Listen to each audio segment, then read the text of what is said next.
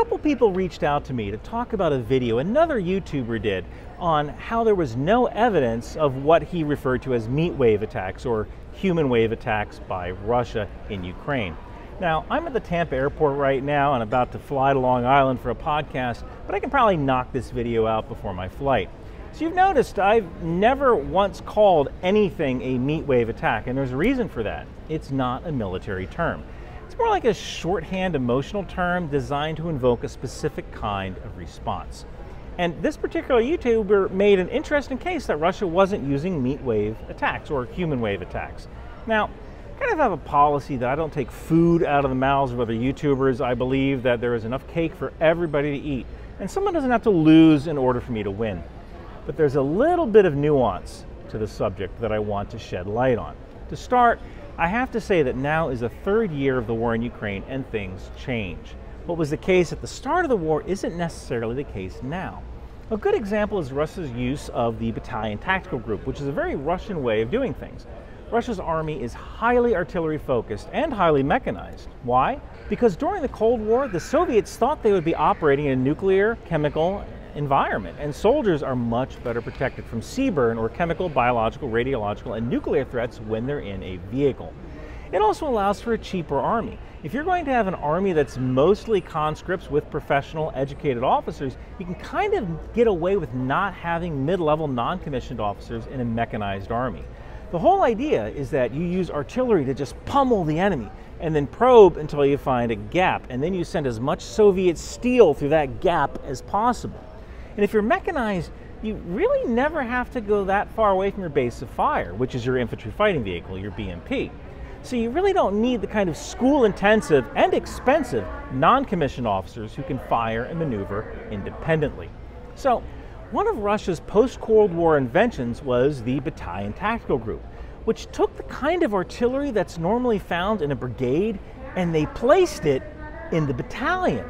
Now, this was supposed to work in theory, but in practice during Russia's invasion of Ukraine, they just didn't have the logistical lift to get all of the rounds out to all of the individual artillery pieces at the battalion level. So when Russia invaded Ukraine, it had artillery in its battalion tactical groups. Around, I believe, summer of last year, they started removing artillery from battalion tactical groups and started putting them in artillery regiments that were just easier to feed logistically. So if you're talking about how the Russian army fights, and you're referencing battalion tactical groups from papers two years ago, you're using knowledge that is two years old. I asked Stable Diffusion AI to generate me an image of World War II era American Army soldiers with all their gear, and it generated this image. Okay, the, gun is kind of off, the helmet is period correct, or is it? I mean, look at this picture from Fort Belvoir, Virginia in May of 1941. Now, technically, this was before the U.S. Army entered the war, but it's almost a year later they're using a different kind of helmet. The point is that tactics and equipment change during a conflict. So what you think you know might not necessarily be correct a few months from now. Okay, so what does all this have to do with meat wave attacks?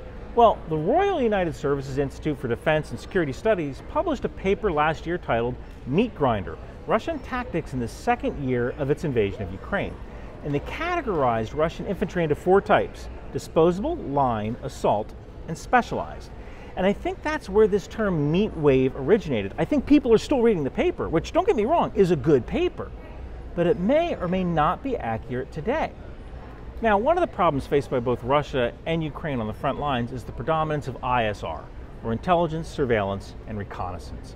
Over the past year, Russia has figured out how to use drones like their Orlan 10 to do spotting. And Ukraine is using commercial off the shelf drones for spotting.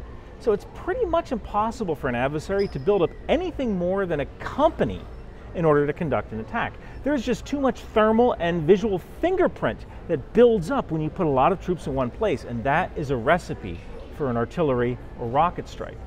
So that's why we're seeing Russia launch these strange, unsupported frontal attacks with four vehicles or six vehicles, many of which get destroyed. And I think that people are, who are trying to explain this can do it in one of two ways.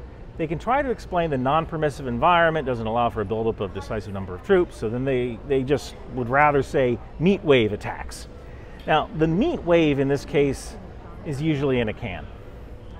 And I think it's just a shorthand way of explaining this is why Russia is conducting unsupported frontal attacks. Now, this might change. With America's Congress in deadlock, artillery aid to Ukraine has slowed to only what Europe can provide. This doesn't mean that Ukraine will necessarily run out of artillery ammunition, but it could mean that batteries will hoard artillery for only the most important fire missions. And when that day comes that Russia can build up a company or battalion level attack because Ukraine just can't service those targets, that's going to be a real problem. So, is Russia conducting foot based human wave attacks like Wagner used to do in Bakhmut? Maybe. I mean, they certainly were at one point, but that might have changed sometime last year. So I think this idea of meat wave attacks is an idea that was popularized by one article and got traction and it may or may not be true a year later in the current operational environment. Thank you guys so much for watching. Oh man, I'm so bored! Christ on crutches with a permanent profile. That's because you have the wrong toys. You need a Ryan McBeth in action figure from the Knife Hand Company.